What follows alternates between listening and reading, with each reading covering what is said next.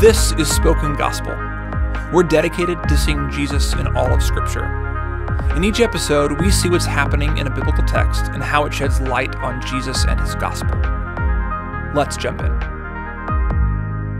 God continues to interrogate Job by calling him to study two creatures, Behemoth and Leviathan. Most likely, these are references to the mythological chaos creatures of Job's ancient world. These powerful creatures supposedly roam the earth and cause death and suffering. But in God's final speech, he shows that these chaotic forces are under his control, and he uses them as illustrations of how Job should act towards a god like him. God says Job is like the chaos monster Behemoth. Behemoth and Job are both God's creatures. Behemoth is preeminent among his kind, just as Job is the most successful among his. Behemoth is protected by lotus trees, like Job was protected by God's hedge. Behemoth's strength and preeminent position means that he's untroubled by turbulent waters and he's confident in the middle of adversity. This should be Job's attitude as well. God has given Job strength, power and preeminence. Even though Job is now experiencing turbulence,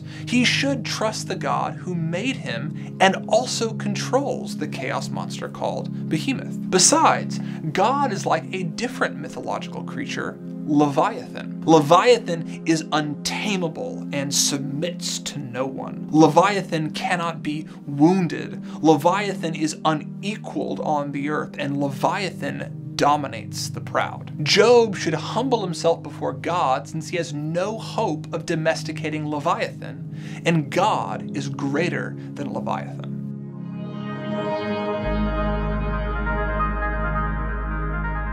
Most ancient minds thought chaos and order were in a constant battle. Sometimes chaos would win, other times order would win. The best you could do was hedge your bets, worship the right gods, and pray you make it out alive. But the Bible understands that God is in charge of both chaos and order.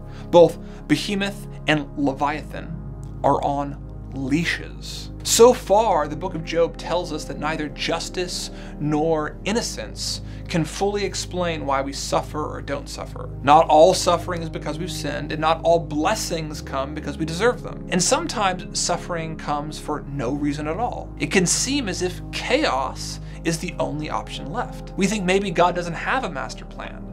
Sometimes the forces of chaos just win. But God's last speech to Job reminds him that no suffering is in his blind spot. There are no chaotic monsters more powerful than him. And God proves it by becoming an innocent sufferer. Jesus was at the mercy of seemingly chaotic forces.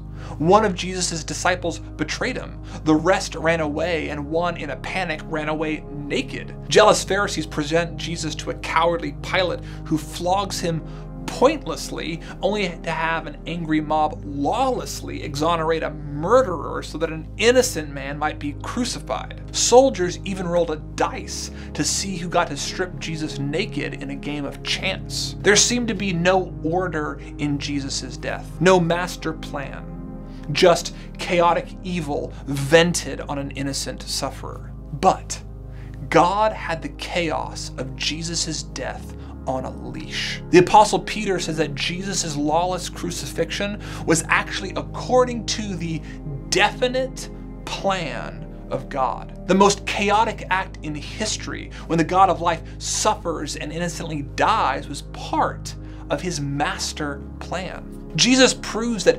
uncontrolled chaos can't be the reason why we suffer, because God has chaos on a leash. Neither Pilate nor Leviathan can break free from him. Rather than blame God for our suffering, both Job and Jesus invite us to humble ourselves before a God whose Leviathan like power controls behemoth like chaos. May the Holy Spirit Open your eyes to see the God who controls chaos.